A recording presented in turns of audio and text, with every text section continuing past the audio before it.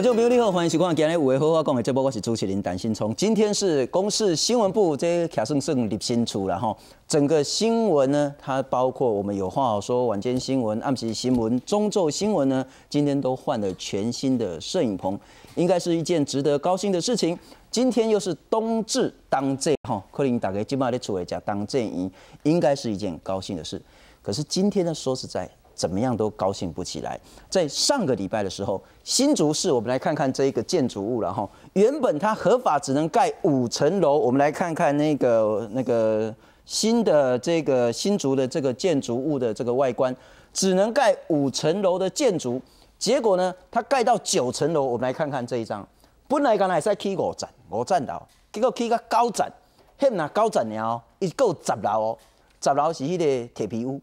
上礼拜大火，一对小姐妹葬身在这个火窟。这是一栋违建，那因为她自己私接电源，电线走火，烧死了一对小姐妹。这或许是个案，可是这绝对不会是唯一的个案，因为到目前为止，台湾登记有案的违建大概有六十万户。这六十万户呢，是政府当然每年都在拆，可是呢，这个违建就很像所谓的癌症一样。越拆它盖的越多，问题越来越无解。除了说在上礼拜这个违建大火烧死了姐妹之外，我们也经常看到有这些贪心的房东，因为他的家就在学校旁边，他本来呢也许是二十平、三十平的房子，他可以隔成七间、八间甚至十几间的这个房间，然后呢租给这些比较穷的这些学生，然后一场大火。这么多年轻的生命就付之一炬。今天我们来谈谈违建的问题，真的像癌症，越盖越多，越拆越多。可是政府在哪里？真的是因为地方明代的官说，使得这个问题永远无解吗？介绍三位特别来宾。首先，我欢迎是消基会房屋委员会的委员，同时也是德林技术学院不动产经营系的副教授林万根老师。哎，主持人好，两位来宾，各位观众朋友，大家好。我们再欢迎是崔妈妈基金会的义务律师沈以轩。大家好。台北市议员王宏维，新中好，大家好。来看看从上个礼拜新竹市的这一场违建大火，再到之前许许多多这一种，因为房东太贪心，把一间房子隔成那么多那么多间的房子，而导致于无数的生命死去，究竟我们能学到什么样的教训吗？来看看。上星期新竹市光华二街这栋大楼八楼发生火警，由于九楼与十楼为铁皮违建，火势迅速延烧到十楼，警消救出受伤的曾姓屋主，但是他的两个女儿不幸烧死。楼上楼上没办法上去吗？我们还在找。两个两个女生。确定两个而已嘛？两个。小一跟一个五岁。警消表示，在十楼发现两名女童，但发现时已经没有生命迹象。邻居则说，这栋大楼五楼以上都是违建，没有在工作了。对，然后是靠那个六七楼的套房出租。哦，六七楼也是他的吗？对，算是他的。收房租？对，收房租。但是是违建，他六七楼是算是违建，他六七八都是违建啊。对，所以你们这边是到五楼是正常户，对。新竹市消防局初步判断，怀疑是电器短路起火，而这栋楼五楼以上都是违建，曾被检举，却不见市府处理，也引发质疑。另外，在二零一一年花莲发生一起火灾，房屋主要是东华大学学生校外宿舍，造成一名学生死亡，多人受伤。房东事后承认宿舍是违建，现场不但只有一个出入口，甚至连灭火器也没有，而这把火也烧出学生。外宿的安全问题，我们来看看台湾现在违建到底有多少了哈。在零九年的时候呢，每一年其实政府都有在做事，地方政府都有在拆。那其实很多大家都心知肚明了哈，拆了之后他又盖回来了哈，或者是说真的有拆了，那他也没盖，可是新的违建又出来了。每年拆的数量呢，大概就是两万七千多件、三万多件、三万件、三万六千多件、三万一千多件。理论上你都有在拆。这个违建数量应该越来越少，可是真的很像癌症一样，它是越来越多。从零九年五十万件，一零年五十二万件，一一年五十四万件，一二年五十六万件，到一四年，今年呢已经有六十万九千多件的违建。这个必须强调是说，它还是登记有案的。那那一种，因为他邻居关系做得很好，所以别人就没通报的这些呢，远远超过这个数字。所以我请教林老师了哈，啊，喜安那开，跟他丢蓝赶快来撸条撸这。这个就是有三三方的问题，一个是政府，一个是人民，一个是呃这个所谓的这个这个利益哈，这个这个民意代表可能也在这里面哈。那这个刚刚主持人提到的这这么多的违建哈，其实在九十六年哈，监察院调查的实际数字是八十八万件。那那么多的违建里面，我们可以想象哈，在民国在民国八十四年，各位发生了什么事情？那个时候二月十五号是威尔康事件。嗯哼，威尔康的时候发生之后，就定了一个所谓的赶快在三月之后到六月，其实那个法叫《公寓大厦管理条例》，在两年多躺在立法院，然后呢，在三月八号到六月六号，然后呢顺利的完成所谓的这个。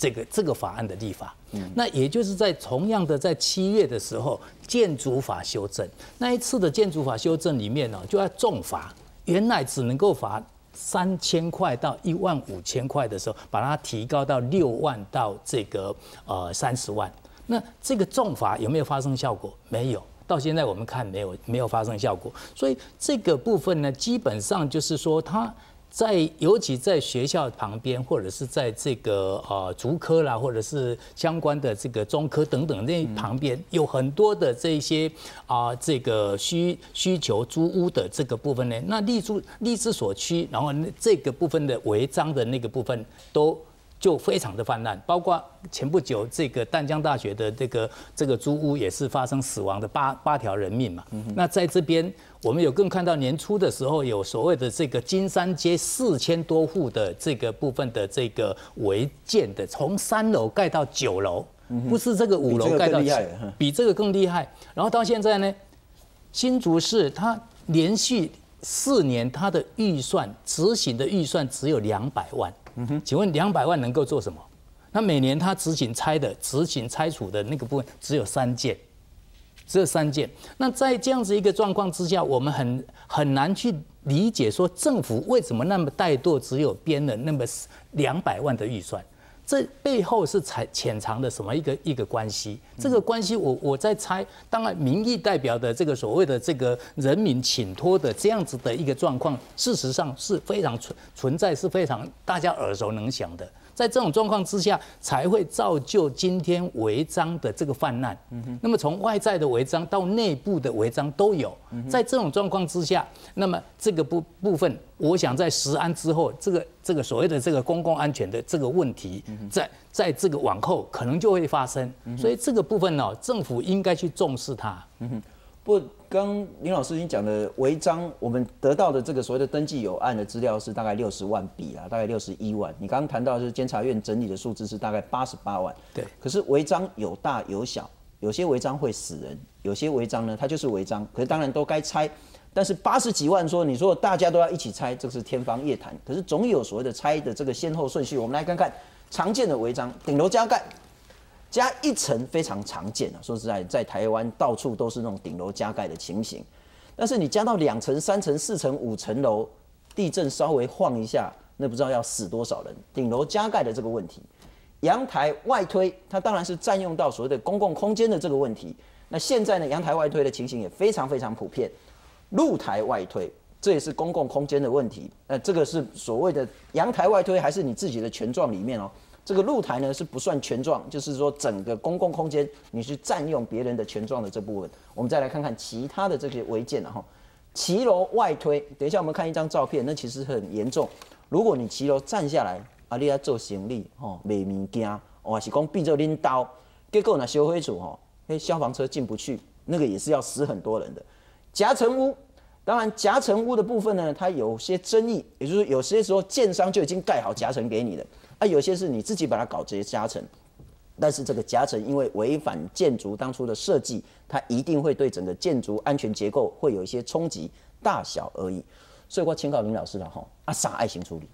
这个在监察院纠正之后，营建署其实也有在做检讨。那各位知道，一百零一年四月的时候，建筑管建筑违章建筑管理办法在一百零一年四月修正，它就定了增订的两个部分重点。第第一个重点就是在增订十一点之一，它把这个违建的类型，就如同刚刚主持人提到的，它把这个违建的类类型把它变成是。最危险的公共安全有关的，跟这个公共安全无比较无妨碍的，甚至到室外的违章、立体的违章这边，那么把它做一些分类。那所以在过去有老违章跟新违章，这一次又增了一个叫做中古的违章，就是说不一定可以缓拆的那个部分。那所以在这个部分的违章里面，它其实有分类。那那涉及公共安全的那个部分呢，那既既报既拆，不能不能打折。那但是问题是为什么没有办法拆？这个是另外一件事情。那当初在行政那个内政部的讨论里面也提到一些解决的方策，因为假设政府没有人力，那怎么办呢？那是不是可以跟这个违规脱掉的那个部分是委外？那在这个这个违章处理办法里面，它也设了这样子的一个机制，没有用，它编你两百万，没有预算所以甚至在建筑法修正的时候有增列的一个叫做营建基那个这个处违建的处理基金，希望说。透过立法，那这个法建筑法的这个立法修法，还有公益大厦管理的条例的修法，其实是在一百零三年的六月十七号已经送到立法院。那立法委员现在。也许这个部分呢，因为有很多人的请托，有违建的部分可能会被被被执行，可能在这边立法委员也不那么的重视，所以这个法案已经躺在立法院也躺了一一年六个月了。所以这个部分其实就中央来讲，你不能说中央政府尤其营建署这边没有在努力，但是我觉得立法院有一些怠惰。那洪伟姐，我要请教你哈，现在很多人在批评地方民代，就说本来要拆。结果呢？拆除大队到楼下的时候呢，啊，议员就来了。哦，别再跳，别再贴。我哎，我叫公文要跳，我无得协调。哦，啊，各位要被协调会，下个月才要协调的，所以今天你不能拆。然后等到下个月要协调的呢，就说，哎，没有，因为那个屋主不在请假，所以我们再延下个月，一延再延，三延四延，延到后来就变成这个样子。这间房子也被检举了很多次，那也要拆了很多次，结果越拆越高，从五层楼盖到六层、七层、八层、九层到十层。我想问的是，说地方民代真的是这中间最邪恶的轴心吗？嗯，其实地方民意代表哦，就是有关于违建拆除的部分，绝对是我们在选民服务里面的一个大宗，我必须要承认啊。那嗯，我我记得我在八年前当议员的时候，我曾经还跟我的助理说，说我也我现在要对外宣布，我违建案子一律不接这样子。后来我们就说啊，你不可可以这样子，好像这好像拒人于千里之外。但是我也跟各位报告，因为确实违建的它的形态是非常多样态的，是有一些是非常恶劣的违建，像这个是极为恶劣的违建，而且这个我必须要讲，这个在台北市大概是不可能看到的哈，就是说因为它原来呃合法的到五层楼，既然可以加盖到一倍十层楼，这个在台北市以现在台北市的生态。今天就算哪一，我相信就算议长都没有办法去挡这样的一个违建哈，所以我觉得这个地方政府它的执法的态度，这个宽松绝对是有不同的。那么呃，我刚刚讲了，就说对我们呃地方民意代表很多确实是要去协助，因为很多人是因为他真的不了解法规。我举例来说，在台北市大家应该很清楚，台北市当年在陈水扁当市长规定。它有一个缓拆，也就是说，所有在八十四年一月一号之前的违建，我列为缓拆，也就是说，所谓的老违建，因为那个经过空照图，当时就知道你已经有加盖有违建，我暂时不处理。但是在八十四年一月一号之后，你衍生出来的违建，即报即拆。好，这个部分就是呃，没有什么灰色空间。但是即使如此，呃。比如提到像七龙、新新竹市政府，他们在整个的拆违建的预算这么少，我记得我我我在当议员之前就有听说，在台北市议会曾经有一年，就是因为很多议员一直在说要缓，就是不不不准拆，可是他照样要要编预算，就一火起来。大笔一挥，把你的预算呐，几乎把删删的差不多，让你根本没办法执行。我在想，新竹市政府有一种可能，你说是是不是市政府不愿意去编这个预算，还是说他知道他编这个预算也通不过啊？这是其一。但是以现在台北市政府的做法是什么呢？也就是，如果一旦是由监管处去那个查报大队、拆除大队去拆的时候呢，拆的这个钱。他还要再去跟屋主收，是，也就是说，你你不拆对不对？因为通常其实即便是呃市政府去拆，他也希望你能够自行改善。我要讲就是说，像我们做的嗯很多的呃就是说有关于这选民服务，很多是要告诉你你要改善，也就是说你不可能说今天找到我王宏威，然后我帮你挡住说就是不准你拆，这是不可能的。但是你必须要最好是自行改善，改善到合乎合乎法规，否则的话，一旦是由这个呃拆除大队进去的话，第一个他可能会拆的非常可怕，还有呢你要全部自行负担。我举例来讲，刚刚在讲说。在台北市很多的老老旧公寓都有这个加盖的这个顶楼加盖哈，漏水。对，那我我记得我第一次处理的违建案子，我本来说我不要处理违建案子，可是我到现场去看，它是一个老违建。我刚刚讲，它就是八四年一月一号这件老违建，但是呢，因为他是新婚的夫妻啊，呃，新结婚，然后那个老违建都已经漏水了，所以他们呢就把那个屋顶呢重新做修正，也就是。它是老违建，但是它的屋顶确实是新修的，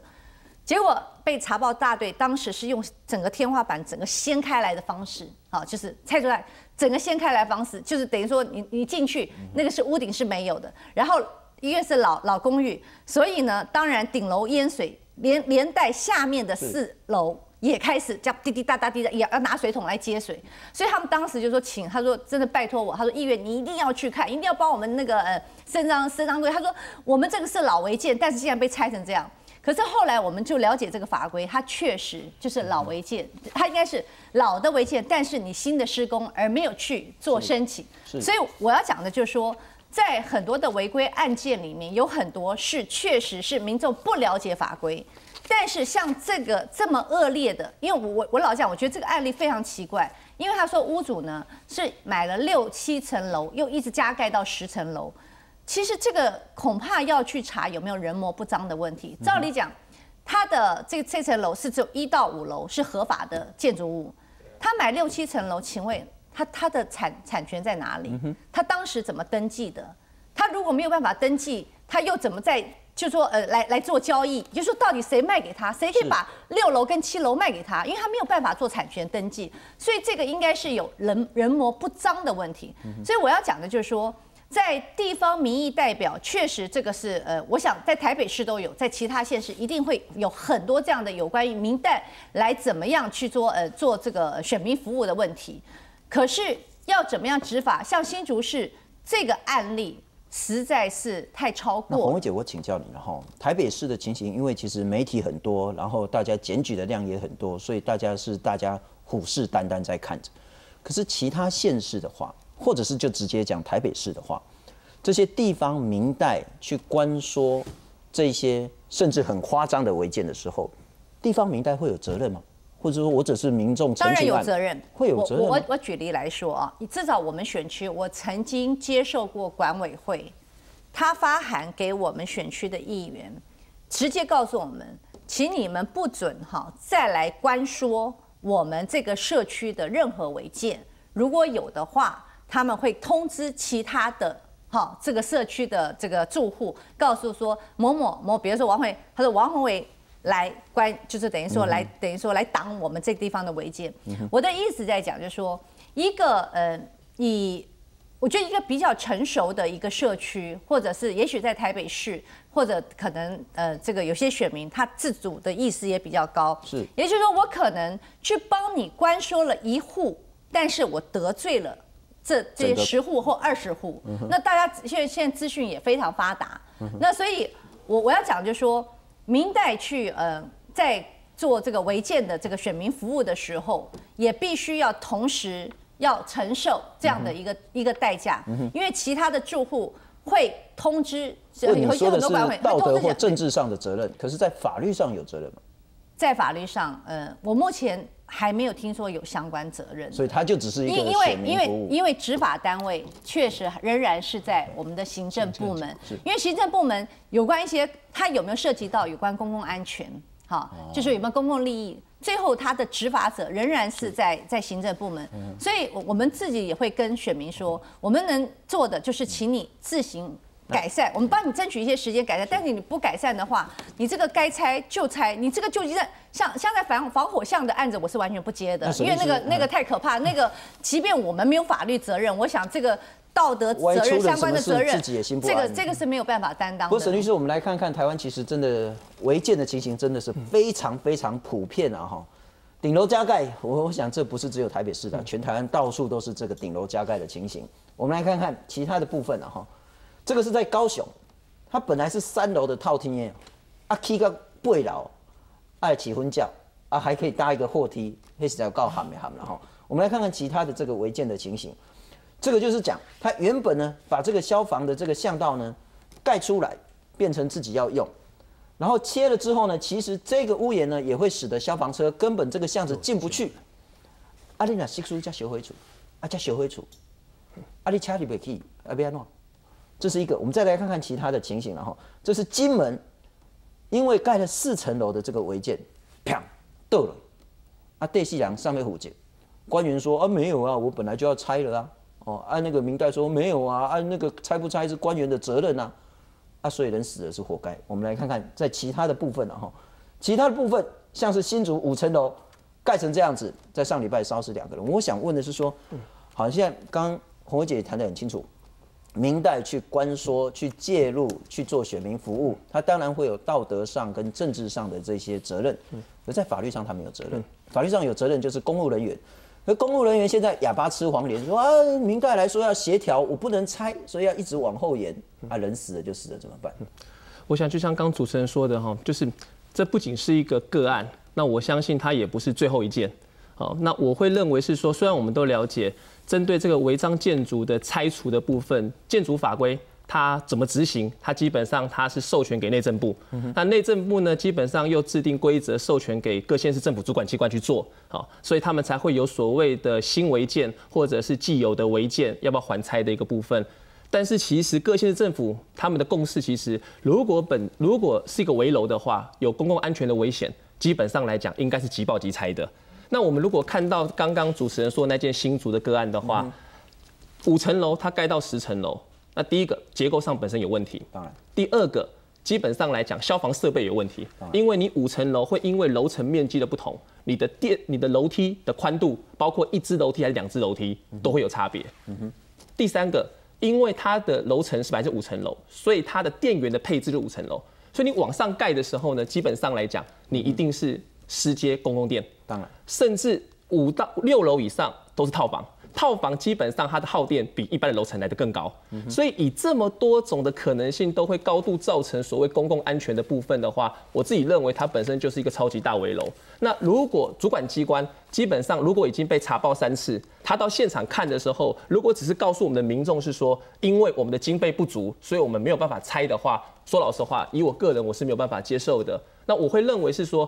今天经费不足不足以作为你执法怠惰的一个理由。所以，因此我会认为是说，其实，在建筑法规里面，本来就已经赋予主管机关你有很多的动作了。例如，建筑法规里面有说，如果这是违章建筑，你基本上来讲，六万到三十万连续罚，甚至你就算强制拆除，你说你没有经费拆，你也可以断水断电，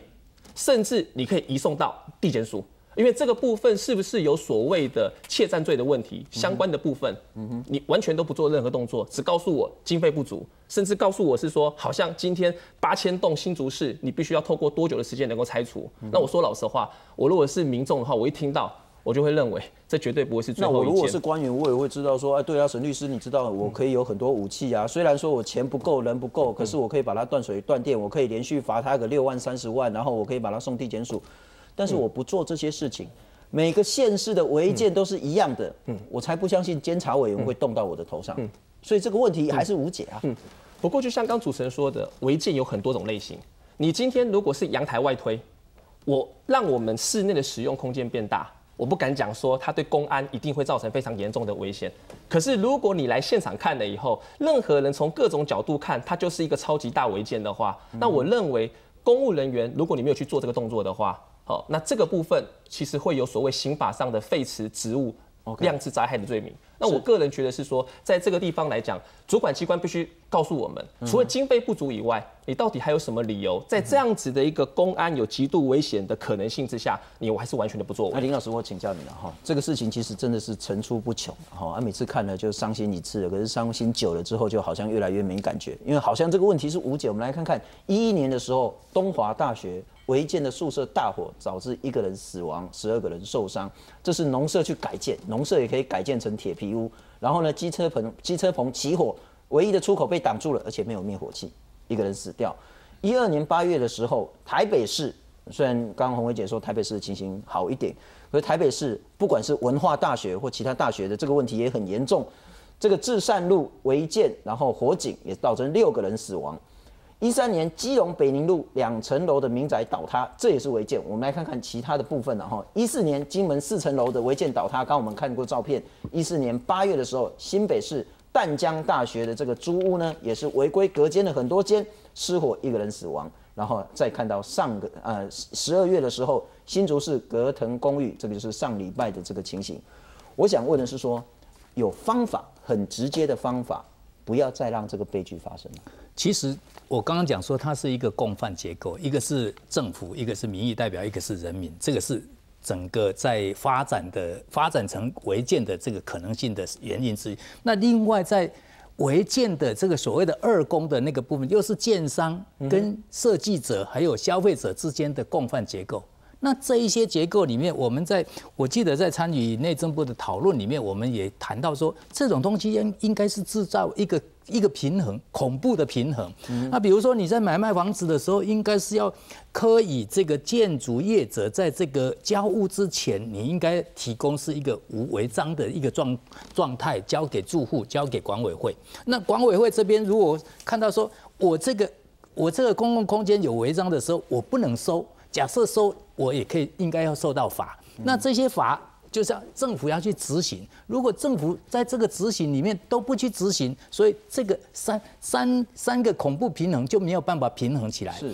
所以在前就在呃二零一三年的这个六月的时候，公益法其实有修正，是让他说在交屋之前要管委会交的时候要有这样子的一个机制。但但但是这个不。这个部分是在立法院还没有完成修法，是，所以，所以在内部的那个恐怖平衡的那个部分应该建构之外，在外部的那个部分，刚刚沈律师有提到，你你有很多的筹码，很多的工具，你应该去走，你跟他断水断电，你给他高额的处罚，然后这个部分呢，让这个违建的这个利益，这个利益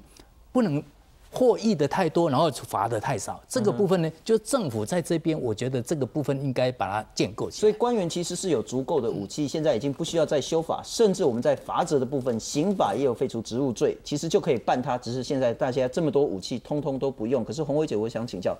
明代的部分有办法解决吗？我们真的只可以说单纯这就只是选民服务，然后说他都没有责任吗？我觉得，因为民意代表大概分两种啊，就是呃。刚刚讲说要不要科以民意代表他的法律的责任，因为通常，嗯，如果发生像这样的一个悲剧的话，那最后可能真的会吃上官司的仍然是行政单位。嗯那么好，民意代表大家会觉得说，嗯，那我我呃只是建议哈，或者说我只是说嗯做协调，因为我并没有行政权利。那所以我觉得这个可以成为用一个什呃，如果未来有法律的案例哈，就说他。成为一个法律案例，也给所有的民意代表，当你在做选民服务或者是官说的时候，那么你自己要了解，你可能会负担一些法律的责任。我刚才讲说，嗯，因为我必须要讲，就是其实真的有关于呃